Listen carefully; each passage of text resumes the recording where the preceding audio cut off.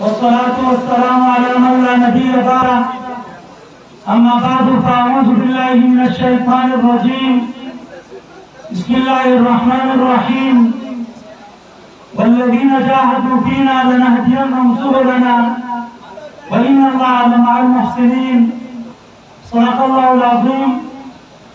ما إذا كنت أصل بيان نقول هذا مشرعني کوم چې ډېر زر ان شاء الله زموږ استاد په منځ کې استاد باندې به موجودي زموږ مشر عالم امیر جمعیت علماء اسلام کې پی کې حضرت مولانا عطا الرحمن صاحب هغه تشریف راوړی دی او نور چې کوم مشران دي هغه راغلي دي ډېر زر به ان شاء الله غزمن استاد په منځ کې موجودي خو زه به مختصر دومره ووایم چې الحمدلله په هر دور کې اهل حق هغه د باطل په مقابله کې هغه درېدلې دی او مقابله کړې ده د باطل هغه د نمرود په شکل کې راغلی نو حق د ابراهیم علیه السلام په شکل کې دا د مقابله کړې ده او که باطل د قارون په شکل کې راغلی نو حق د موسی علیه السلام په شکل کې د هغې مقابله کړې ده او که باطل د فرعون په مقابله کې راغلی نو حق د موسی علیه السلام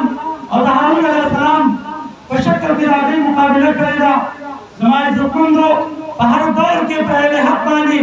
ابتلاګانې مصیبتونه تکلیفونه راغلي دي خو حق په هر میدان کې د باطل مقابله کړې ده که موږ او تاسو د انبیاء کرامو په دور باندې نظر واچو نو هر نبي ته باطل مخې ته ودرېدلی دی په هغه نبي هغه د حق اواز چې دی هغه د باطل په مقابله کې اوچت کړی دی هغه نبي دغه په وجه باندې هغه شهید کړی شوی دی هغه په ونو کې هغه کړی شوی دی خو نبي د حق د خبرې نه شاته شوی نه دی او بیا زما عزتمند نبي صلی الله علیه وسلم هغه د هغه قربانۍ دی او د حق دپاره د هغه چې کوم جدوجهد دی هغه د روزې روزې روشن کړی دی ښکاره دی زما عزتمن زوی که یو طرف ته ابوجهل ابولهب عتبه شیبه ربیعه ابن ولید امیه بن خلف و نو بل طرف ته نبي صلی الله علیه وسلم ابوبکر صدیق عمر فاروق عثمان غني علي رضی الله تعالی عنه او نور صحابه هغه ولاړ وو او که کفارو هغه د بدر په میدان کې مقابل شوي دي د مسلمانانو د قربانیانو هغه تاریخ هغه ژوندی کړی دی او هغه ته شکست ورکړی که د احد میدانی نو مسلمانانو هغه له شکست ورکړی که د خندق میدانی مسلمانانو شکست ورکړی او بیا زما عزتمندو که موږ او تاسو د ائمه په باره کې د هغې تاریخ موږ وګورو د تابعینو تاریخ وګورو د تبع تابعینو تاریخ وګورو نو زما عزتمندو که موږ ته یو طرف ته امام ابو حنیفه امام ابو یوسف امام احمد بن حنبل په نظر راځي نو بل طرف ته موږ ته هغه ظالم او جابر باچاهان په نظر راځي امام احمد بن حنبل رحمت الله علیه د خلق قرآن په مسله کې هغه جابر باچا ته ودرېدو او هغه ته اعلان وکړو چې قرآن چې دی دا د الله کلام دی د الله مخلوق نه دی او بیا زما عزتمند هغه وخت هم راغی چې په دغه وجه باندې امام احمد بن حنبل په کوړو باندې وارې شي سل کورې مو ورکولی شي د هغه جنازه د جیل نه وځي او هغه دا اعلان کوي چې زمونږ د جنازې به فیصله کوي چې په حق باندې څوک او چې کله د امام احمد بن حنبل رحمت الله علیه جنازه راوځي نو پنځه لاکه خلک د هغه په جنازه کې شرکت کوي شل زره یهودیان عیسایان مجوسیان هغه په دغه ورځ باندې ایمان قبلوي او بیا زما عزتمندو که موږ د امام بخاري رحمت الله علیه د هغه واقعات وګورو او که د نورو ائمه حدیث قربانیانې وګورو نو په هر دور کې د حق لپاره دغه ائمه قربانیانې ورکړې دي نو زما عزتمندو که د علما دیوبند ذکر په دې میدان کې ونه شي که د هغې تاریخ بیان نه شي نو دا به ځای کوي هغه علما دیوبند کوم چې د صحابه تاریخ راژوندی کړی د تابعینو تاریخ یې راژوندی کړی د تبع تابعینو تاریخ را ژوندی کړو شیخ هارون مهین رحمت الله علیه انګریز گرفتاری او هغه جزیره انډیمن کالفانی اسیر مالتا هغه زیره وړي اول ته هغه سزا ورکړي او شیخ هارون رحمت الله علیه هغه د واورې په سیمینو باندې هغه څملای او چې کله شیخ هارون رحمت الله علیه هغه راپاڅي نو انګریز ته تپوس کوي چې ستا جذبه څنګه ده هغه وایي و جسم تنده پړ چکا ہے لیکن جذبہ اس سے بھی زیادہ جوان ہے زما عزت مندو تبا حسین احمد مدنی رحمت اللہ علیہ سے اغا کانگریس خلاف فتوا ورکئی د غزاوی فتوا ورکئی کانگریس فوج کے د برچی کیدلو خلاف فتوا ورکئی او بے تبا حسین احمد مدنی د سن پر عدالت کے د کراچی پر عدالت کے انگریز جج راباری او اغا توائی چه تا ته پته ده چې د دې شرط شوې سزا څه ده هغه ته خپل رومان هغه ته اوچتوي او ورته وایي چې ما د دیوبند نه د ځان سره هغه خپل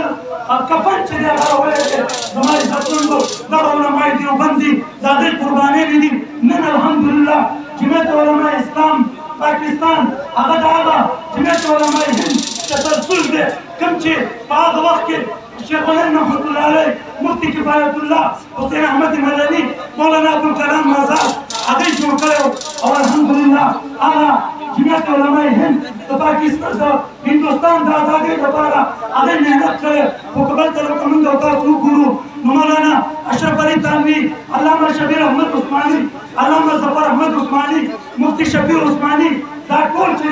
د پاکستان د آزادۍ لپاره د قائد اعظم صاحب کلک ولاړ دي او بیا زما عزتمندو هغه دور هم موږ ولیدو چې اختلاف العلماء رحمه کله چې پاکستان آزاد شو نو دوه ویشت کروړه مسلمانان نن دلته دي او د دې نه سوا مسلمانان په هندوستان کې دي خو نن الحمدلله د علماو د کانګرس سره د ملګرتیا او د مسلم لیګ سره د ملګرتیا هغه ثمره داره ووتله چې نن هلته د مسلمانانو سره څه حقوق چې دي هغه محفوظ دي او بیا زما عزتمندو کله چې پاکستان آزاد شو علماء دیوبند محسوسه کړه څنګه چې جمعیت علماء هند په هندوستان کې ده دا قرنګي په پاکستان کې جمعیت علماء اسلام ته ضرورت ده علامه شبیر احمد عثماني هغه د جمعیت علماء اسلام بنیاد کړي او دا غي وروسته احمد علي لاهوري صاحب هغه د جمعیت امیر جوړیږي او دا دین آباد عبد الله درخواست صاحب مفتی محمود صاحب رحمت الله علیه هغه د جمعیت دغه پیغام چې د جمعیت دغه ترتیب چې هغه جاری او ساري ساتي او بیا هغه دا ورمون به تاسو ولیدو چې د ختم نبوت د مسالې لپاره تقریبا لس زره کسانو په اوونیس سوه ترپن کې په لاهور کې قرباني ورکړه